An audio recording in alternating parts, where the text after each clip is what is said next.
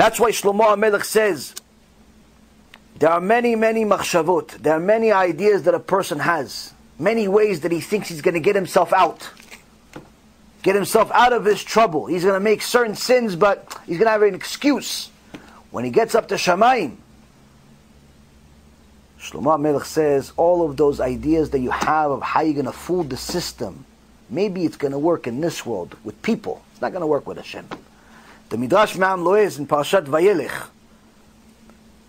in the English version, it's page 311, says there's a hidden secret that Shlomo HaMelech has in this verse. When he says, Ve'etzat Hashem itakum, that the uh, council of Hashem, meaning that Hashem is going to decide what's going to be the outcome of everything, when it says the word He, He meaning it, it stands for the acronym of three different people. Hey for Hillel, Hillel HaZaken. Yud for Yosef Tzaddik, and Aleph for Elazar, Rabbi Elazar. Rabbi Elazar ben Chasima. Why these three people? Because a person is going to go up to Shamayim and a Kadosh Baruch Hu is going to ask him, how come you didn't learn Torah? You knew everything about the sports teams. You knew the salary caps. You knew what coach they had in every year that they won the championship. You knew how many people they could fit in the stadium when they played at home versus when they played somewhere else. You know all types of useless information. But my Torah, somebody asked you, can I, am I allowed or not allowed to do such and such on Shabbat? You didn't know. How come? No, Hashem, listen, I was so poor. I was always working. And you know, when you're working, you're not going to be able to learn Torah. Oh, you're poor. Hillel Zaken had enough money every day to go give food, half a coin, one lira, to give to his family so they could eat and not starve to death, and the other half to give it to the Bet Midrash so he could learn Torah. That's all he had. And when he didn't have that, he climbed on the roof of the Bet Midrash of Shmaya and Avtalion just to listen because he couldn't enter. They wouldn't let him in. So he listened through the glass roof of the Bet Midrash to listen to his rabbis say the Torah and put his life in danger, and he actually froze until Shmaya and Avtalion saw him on the roof the next morning, covered by snow, and they violated Shabbat to bring him back to life. They violated Shabbat. They lit a fire. To, they violated Shabbat to bring him back to life. Were you poorer than Hillel Zaken? Oh, not so much. You're making 500 bucks a week. You're making a thousand a week. So you weren't that poor then. Business wasn't that. Uh, no, so another guy's going to say, yeah, but Hashem, come on. How could I not sin? How could I not sin? I had so much money. I had so much money. You know, I had to take care of the houses. And you gave me, you blessed me, Hashem. It's not my fault you blessed me. I had all these houses.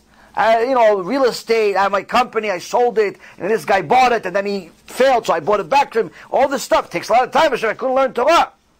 Kadosh Baruch Hu says, "Were you richer than Rabbi Eliezer ben Chasima, who his father was so rich he left him an inheritance of a thousand cities. A thousand cities was his inheritance. Cities. We're talking about a thousand shuls. A thousand cities. Were you richer than him? Somebody like that, even Bill Gates wouldn't be enough to work for him. Oh, he weren't so rich, but he still became a Talmid Chacham. How much of a Talmid Chacham? He's mentioned in the Gemara, that means he was so, so wise and so holy, he was able to revive the dead. You weren't in his level. But he had more money than you, though. And then somebody will say, yeah, but Hashem, listen, I get it. I didn't study that much, but I did enough. I did enough, but uh, this thing about wasting seed, this thing about uh, girls, boyfriend, it's not for me, right? It's not for this generation, right? Hashem says, yeah, it's a different generation. You have a different section for you. Hold on a second. Let me finish with the guy with the Torah. You come to a Kadosh Baruch Hu says, but Hashem, how come? How come this generation, the girls walking around practically naked in the streets? How could I not sin? I was such a handsome boy. Every girl wanted to give me a number. Without any commitment. Hashem, it's not my fault. HaKadosh Baruch Hu is going to tell you, were you more handsome than Yosef Atzadik? Yosef Atzadik was so beautiful that his skin was shining. Shining. Now, we're not going to have any kind of understanding of what that means. but you will have an understanding of this.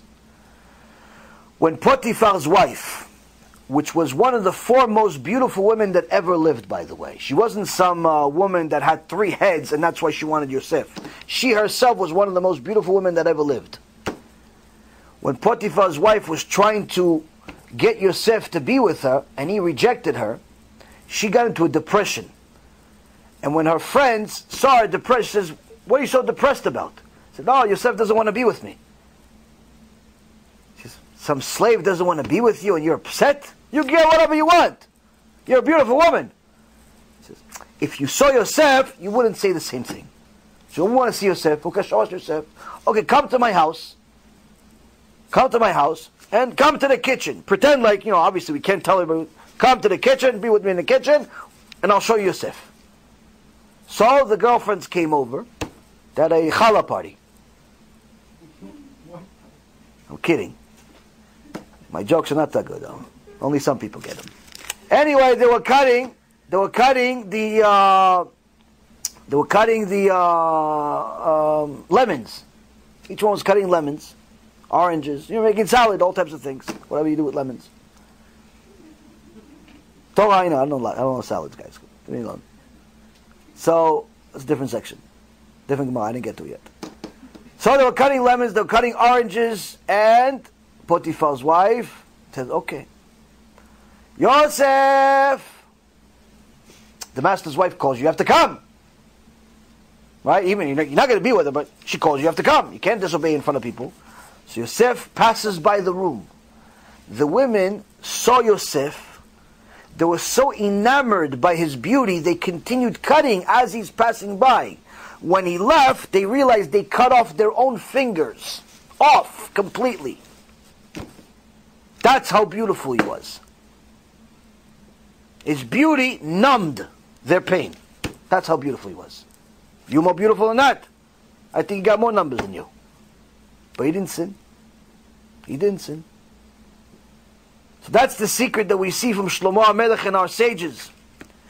Where all of these ideas and excuses that a person has of why he can fool the system, it's not relevant to this generation, and all this other nonsense, there's already verses in the Torah that tell us otherwise.